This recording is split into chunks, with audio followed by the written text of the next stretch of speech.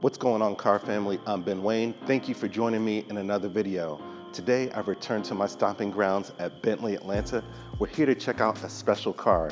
This is the 2023 Bentley Continental Flying Spur V8S. And if you've been with this channel for a while, you know we've done in-depth reviews on the Flying Spur as well as test drives. So if you want a little bit more detail and a test drive, be sure to check those videos out. I'll leave the link to those videos in the description. But today we're checking out this special V8S, which has been finished in a beautiful Cambrian gray and features a gorgeous porpoise interior. I love the duotone hides on the interior. We'll get to that. But today, let's check out the exterior and the interior details of this V8S and see how this ride has been engineered for excellence. Starting the review out with the front of this vehicle. The first thing you'll notice is a lot of the standard chrome trim has been removed. Instead, what you're getting is what's known as the blackline specification. So all the pieces that are traditionally chrome, such as the vertical vane grille or the headlight surrounds, or even this trim on the hood and the front ornament, all been done in a gloss black, which is gonna provide a darker edge to the vehicle's overall aesthetic. I really like the lines here, and I think the black just really makes this look more like a sports sedan when compared to the traditional model. Now underneath the hood, what's powering this thing? What we're getting is a four liter twin turbocharged V8 that's giving you 542 horsepower, 568 pound feet of torque. That's connected to a dual clutch eight speed transmission, zero to 60 in just 4.1 seconds. And this vehicle has a top speed of 198 miles per hour, so it's not lacking in terms of power whatsoever. This is an incredible vehicle from the front. Let's go ahead and check out that side profile. Checking out the side profile of the Flying Spur, which is easily my favorite angle of this vehicle, the first thing that will jump out at you are these sharp lines throughout this car's aluminum bodywork, which is incorporated via an engineering technique called superforming, which is going to remove any seams or welds from the car's bodywork. Now also, another thing you'll notice is the black line specification is carried throughout the side profile. We do have blacked out badges, gloss black side view mirrors, along with the window surrounds. And of course, you're getting the 22 inch 10 spoke gloss black wheels exclusive to the V8S model. Now, in terms of handling and driving dynamics, you still are getting that 48 volt active roll control.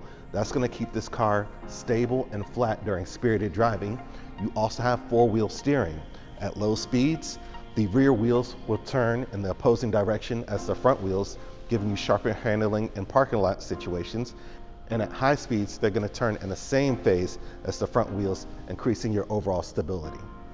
Now, in terms of power delivery, of course, you're getting that standard all-wheel drive that the Flying Spur is known for, so traction is not a concern whatsoever. Now, part of what makes the handling different on the V8S model compared to the standard model is that your engine, transmission, and suspension mappings have all been altered for a sportier vibe. Now, let's go ahead and check out the rear. When you take a look at the rear of the vehicle, one thing I really appreciate towards the back end of this car is the way the roofline tapers into the trunk lid it really gives me those old school Bentley and Rolls Royce vibes. So I love the tradition that's been kept in the car's design. Now coming towards the rear, you notice we do have an intricate design for your rear tail lamps. They have the crystal cut effect that we saw in the front LED matrix headlamps, and they also have B incorporated into the design. I think that's just fantastic. Everybody's gonna know what type of car this is from the back and the front as well. Now you'll also notice that your tail lamps have been pushed outward thus just exaggerating the width of the vehicle, gives it a nice planted stance from the rear. Coming lower, we do have gloss black accents from that black line specification, and you'll notice we have figure eights or dual exhausts on either side, representing that V8 up front underneath the hood that's been finished in gloss black. And for the V8S model, that exhaust is gonna provide you a nice deep, throaty sound to it when compared to the traditional W12.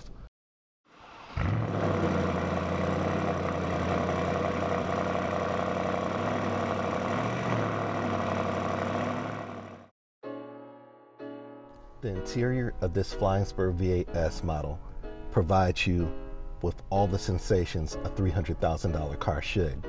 I'm loving the duotone split with the Beluga. and then the porpoise hides really provides a nice contrast. Starting at the top of the dash, you have that smooth to the touch leather, some of the smoothest leather I've felt in the industry recently, with stitching going all the way across.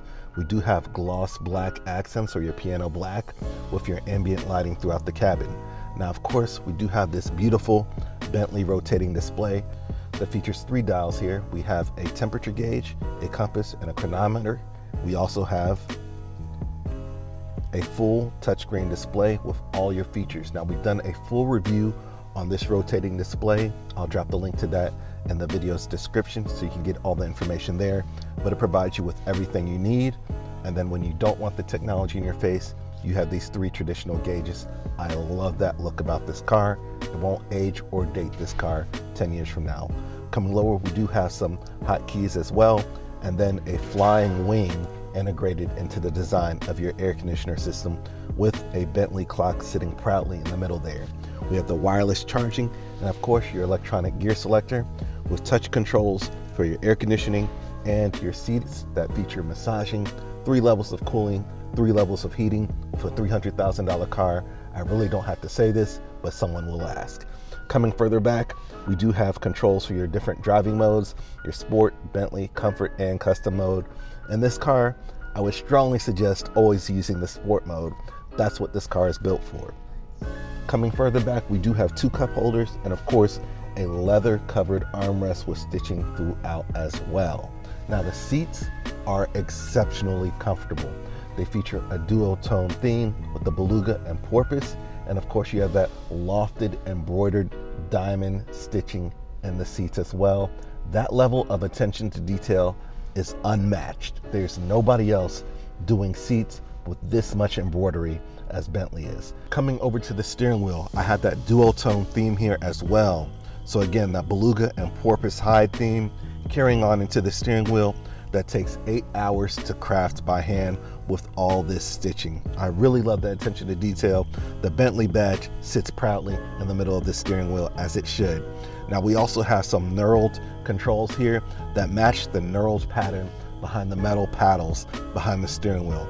These metal paddles are thick and are cold to the touch. It gives you a sense of high quality and craftsmanship, which this car should provide. Coming further back, even on your stocks coming from the steering wheel, we have that knurled pattern that we covered in several other videos. Knurling is some of my favorite features that are found on Bentley vehicles. Now, of course, we have a thin film transistor display that gives you all the information you want. It's fully configurable. You can put your navigation there if you want as well. Tons of technology has been packed into this vehicle. There was a time about 10 years ago where Bentley was about craftsmanship, but you didn't get too much technology. Nowadays, you're getting the best of both worlds, literally, and you still get that craftsmanship. That's their primary purpose. That's why you have this rotating display. So that way, the tech is still there, but again, that traditional gauge cluster setup is still known in their vehicles. We have the bullseye metal air conditioning vents that can be found in Bentley and Rolls-Royce vehicles throughout the past several decades. So again, they paid a lot of attention to their tradition and heritage. Coming over to the door panels. The door design matches seamlessly with the dash, so it just flows nicely. It's almost as if it was one piece. We have that piano black veneer here as well, along with the ambient lighting and the diamond pattern incorporated into the doors as well. The door handles themselves ice cold to the touch. They're made of that metal with the knurled tactile feedback that it's giving you when you put your fingers in the door handle. So even one of those last things that you touch, the door handle, when you exit the vehicle, is giving you that tactile feedback that's saying, hey, this is quality. This is high end. I love that about these vehicles. They have controls for all four windows and of course storage on the bottom of the door and two position memory seating as well. Now, one thing about this vehicle I noticed is that this is a darker interior. Even though we're not outside, as soon as you take this vehicle out, it's going to be flooded with natural light due to this massive panoramic roof. There's a huge pane over the front seats and then another pane over the rear seats. So it's going to be flooded with tons of natural light. Speaking of the rear, let's go ahead and check that out. The back of the Flying Spur is an amazing place to be. But if you're a car guy like me, you're gonna wanna be behind that front wheel. But this True comfort back here, true luxury. You're getting all the same quality that you saw up front in the back as well. We have tons of legroom here.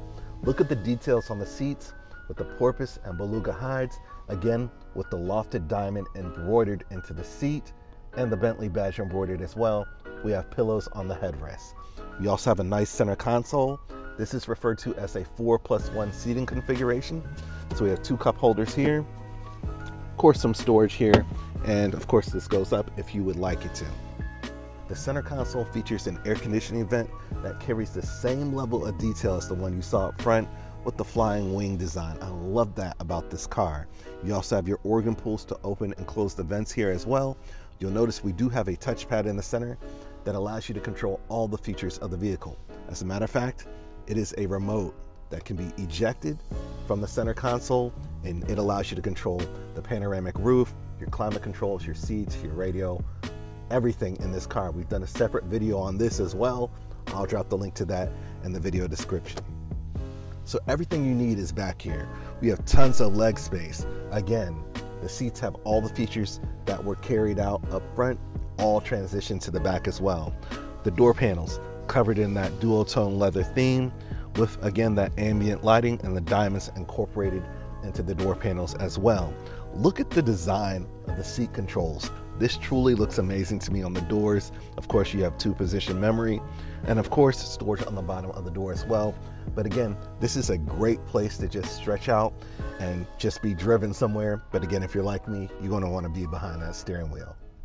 So that was a brief overview of this 2023 Bentley Continental Flying Spur V8S model.